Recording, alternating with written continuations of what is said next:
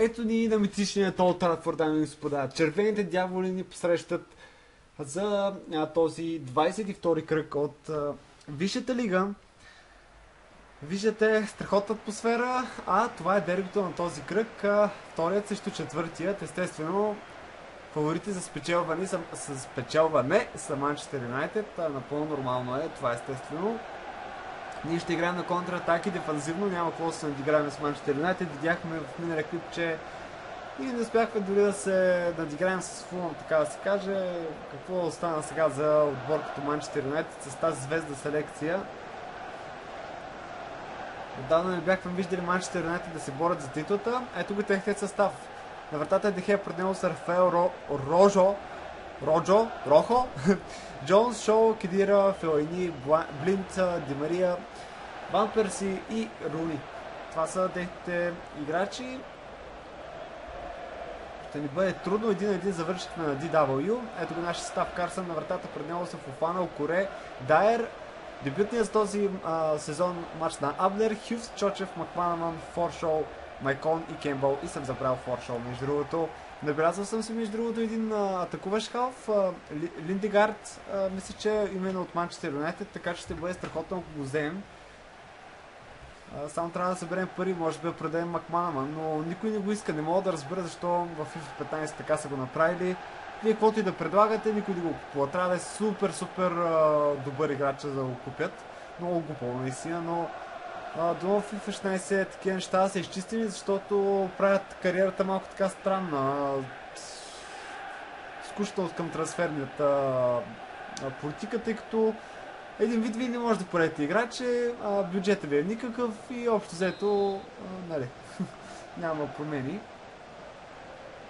И така, започваме с този добой. А, да видим бързината на Кембъл. Днес а, ще използвам като тактика за победа срещу Манчестър Юнайтед миналия сезон. Именно тя ни доведе, докара победата. Така че се надяваме днес това също да стане. И не, това, това, е, това е невъзможно. Е, това е невъзможно, бе, хора. Ви болни ли сте, бе?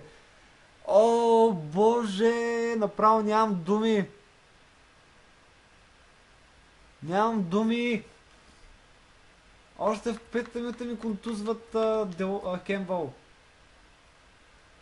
Оф. Делорд, удар по земя. Дехия спасява. Удар! И това е пропуск. Руни с много платен изстрел, но не успя да оцели вратата и хубаво, че не я оцели, защото това беше 100% гол. Шерек не успя да вкара.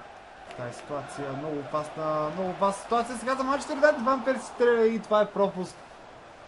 Отново. Отново над вратата и най-добре така с всички удари на Манчестър Юнайтед днес. Удар отново! Ван Перси кара за Манчестър. О, не, не ми върви изобщо. Този добой изобщо не върви. Страхотен стрел на Иван, на Иван Перси. Да, точно така, Иван Перси. О, Иван Перси вкара страхотен гол. Лош, лош. Този добой не започна изобщо добре. Просто ми развалиха всякаква тактика и вече не знам какво да правя, често казвам. Какво бих могъл да направя сега? Не, че не успях да взема точка от тях през есения дял на първенството, но сега са в още по-добра форма. А, аз не съм в добра форма, това е лошото. Трети гол за Ван Перси. Боже! Той човек не е вкарал този сезон нещо, не знам. И това е края на първата част. Манчестър Бой с 1 на 0 срещу отбората Уиган. Наистина много тъжен матч, често казано. Доста ентусиазирано започнах този добой, но... О, за жалост, наистина много тъжен, много тъжен добой. Трябва да мисля какво да правя в втората част. Че е много зле. Делорд навлиза сам! Дуспа точно така! Точно така дуспа! И аз забелязах този път а, това нарушение и жълт картон трябва да имаме също така. О, слава богу, 51 минута, втора а, имаме възможност да се да изравним. О, чиста дуспа, чиста дуспа. Делорд се измъкна по чудесен начин и то сам. Майкон застава за топката обаче. Мисля, че Делорд обаче, понеже е в страхотна форма, би трябвало да бие тази дуспа. Надявам се а, да не сгреша с а, своето решение.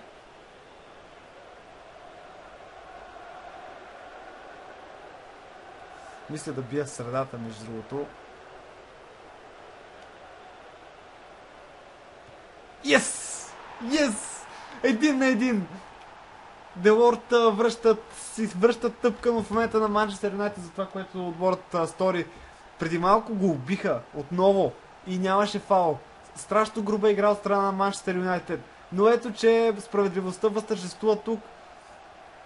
И резултатът е един на един. Уигън се връща в матча. А сега, между другото, на по времето направих две смени. Хоят влезе на мястото на Макманаман дясно, по дясното крило и Лопес на мястото на Форшоу. Би трябвало да знаете вече позициите на играчите горе-долу. И да, общо взето това е. Страхотно начало. Нямаме право на повече смени, така че трябва да бъдем доста внимателни в този добой с изразходването на силите на футболистите.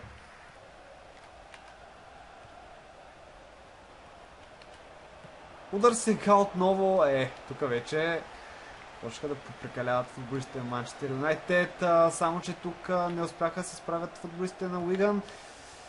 Хайде, хайде. Възможно сега за Уиган! Майкон сам също Дегея ударна... Оу, не! О, как ще пропуснеш, бе, брато? Оле, това, това трябваше... Не, не знам, не знам. На късо! Удар на Делорт! Стига, бе! Стига, бе! Две чудесни възможности да приключим този двубой в наша полза. И за жалост това не се случи, но Майкон определено изпусна най-честа ситуация. Един на един ще остане този резултат, може би. Има малко време все пак. Да видим какво ще се случи до края на този добой. Ще даде шанс. Явно ще се даде шанс на Манчестър Юнайтед. Надявам се проклятието на 90-та минута да не ни застигне отново. Центриране. И това ще е краят на този добой. Не знам какво ми става на Уиган в последните двубои, но нещата не изглеждат изобщо добре.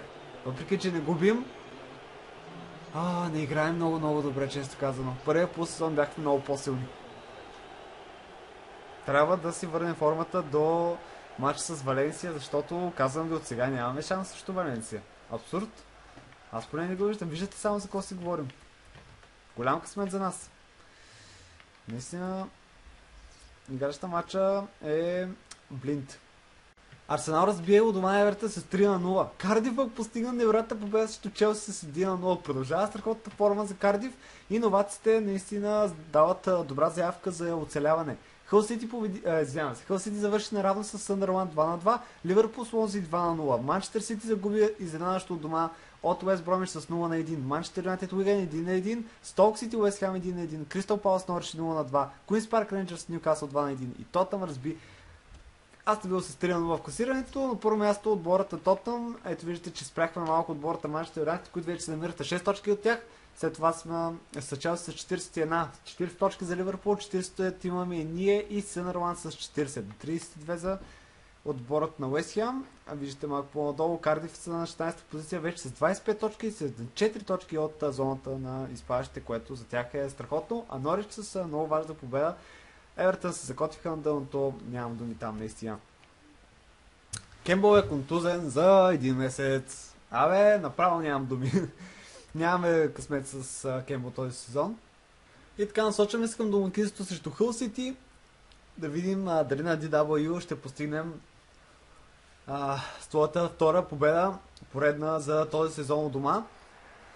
Ето го класирането, ние сме на пета, не, пета позиция, те са на 15-та, така че мисля, че вече имаме сериозен, сериозна възможност да ги победим. През есения дял от пренестото те бяха в по-добра форма, но сега изглежда, че не са в чак толкова. Нашото дуо Делорт и Лопес се намират обаче в страхотна форма. Да се надяваме поне те да помогнат и на Майкон да върне своята, тъй като знаете каква машина само беше Майкон, но Последва така дълга гола суша, но все пак не съжалявам, това е един от най-добрите ни трансфери заедно с Лопес. Както и Дайер, може би. Ето го нашият състав. Махнах Фофана, който беше трагичен срещу Манчестър Юнайтед. Също така сложих и Бентерев на мястото на Чочев, който не се намеря защо два форма. Набри също така на мястото на Макманаман. А, така, борда ни даде, борда на директорите ни отпусна 3 милиона и 700 хиляди бюджет. Аз казах, че искам да се класирам за Шампионската лига за следващия сезон.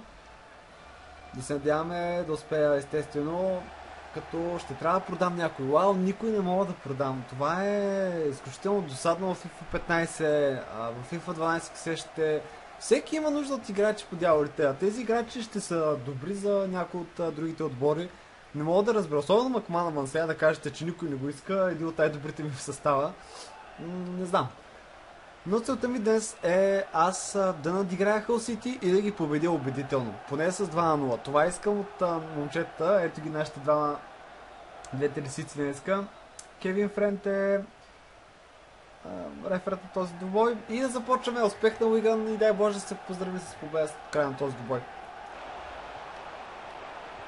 Възможно за Майкон. Удар на Майкон с, един, с едно докосване, но Титон или Тайтън успя да лови топката. Първа възможност за Уиган. Ето това искаме да виждаме.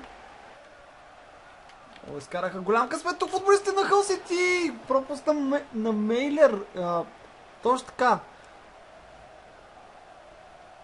Колко крив удар. Колко крив удар. Ще намери естествено Делор, който веднага шутира и Тайтън спасява. Уиган не успяха, не успяха през първата част да наложат този натиск, за който говореха, за който се говореше в началото на този двубой. Хъл Сити добре, добре се противопоставят на Латикс, но като цяло все пак по-добрият отбор е този на Уиган.